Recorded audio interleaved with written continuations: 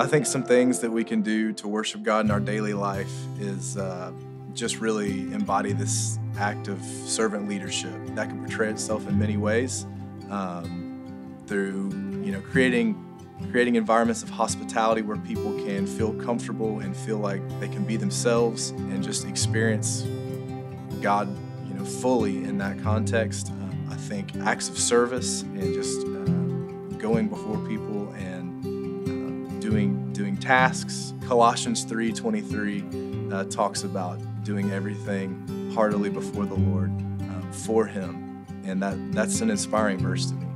In my daily life, I try to worship God through seeing the needs of others. I try to stay in tune with uh, with people and how they feel, and, and I will go and I'll try to meet a need. If I see somebody at the store and I feel, you know, I need to I need to give them something, I will reach in my pocket and I will literally go and I'll give them something. Or, and this is not to, to toot my own horn or to brag, but there have been occasions where there's someone behind me in line and it's really easy now to pay for something. So as soon as my checkout goes at the grocery store, I double click my watch and, and hit that um, hit that scanner and it'll pay for the next person's thing. We can worship God in our daily life by acts of kindness through praying for others, praying to Him for things that we need. He likes to hear things that we need as well. Being there for a friend who's sick. It's not what you do, it's where the thought comes from, where the or the action. If it comes from the heart that you're doing it for God, for others, to help show a heart of love, then then it's worship to him. I think one of the ways that I can worship God in my daily life is simply by loving God and loving others. Um, the loving God part's easy because there's only one God to love. He's the only one worthy of, of my worship. The loving others is pretty easy too because first and foremost it begins with my family.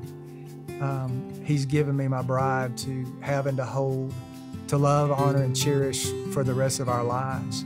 And he's also given me beautiful children and grandchildren to, to love and to bless the way that he loves and blesses me. I love to think about how we can worship God through everything.